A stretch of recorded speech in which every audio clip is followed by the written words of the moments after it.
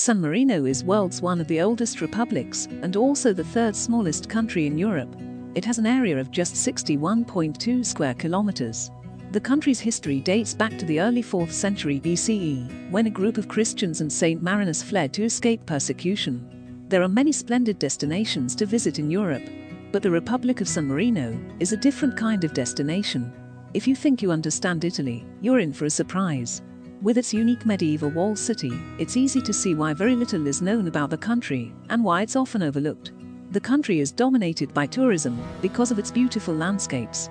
You will find stone walls and three fortresses at the top of Mount Titano, which is just fascinating to see. Visit Rocca Guaita, Monte Titano and the neo-Gothic style government house, Palazzo Pubblico, and Piazza della Libertà. The Museo di Stato, National Museum, is also an excellent place to visit in San Marino. It houses impressive archaeological collections from the Neolithic Age and the Etruscan and Roman periods. Geography The country has an irregular rectangular shape. It is because Italy surrounds the country on all sides.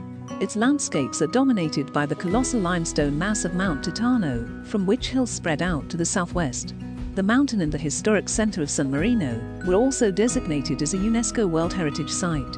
The country produces wheat, barley, and grapes, and about three-fourths of its lands are granted permanent cultivation.